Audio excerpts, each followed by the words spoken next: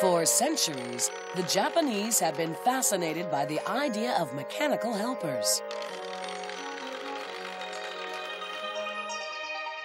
The greatest challenge for many years was to design a robot that could walk on two legs.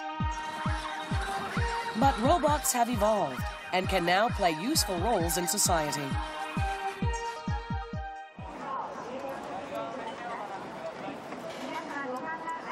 If you visit Expo 2005 in Aichi, you'll get a foretaste of the robot filled society of the near future.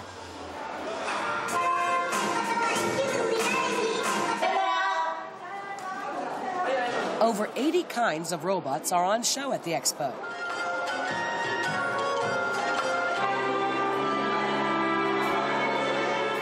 This childcare robot recognizes each of these children as individuals using cameras in its eyes.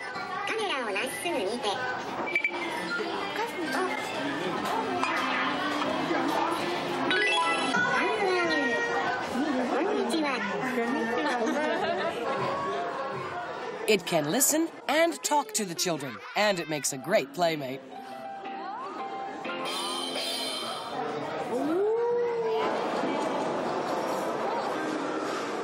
The wheelchair of the future. Actually, this is a robot too. Any body action can be used to command the chair to perform complex tasks. This wheelchair robot promises to make life more active and fulfilling for people whose movement is limited by disability.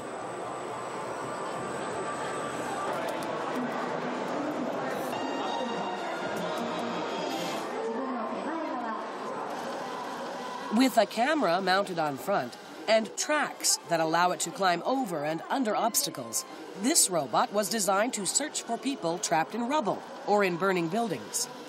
Because it needs to be robust and foolproof, it is controlled remotely by a human operator rather than by an onboard computer.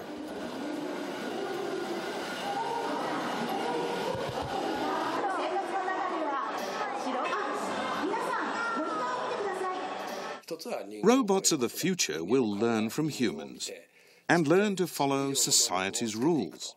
Our dream is for robots to do things that are impossible for us.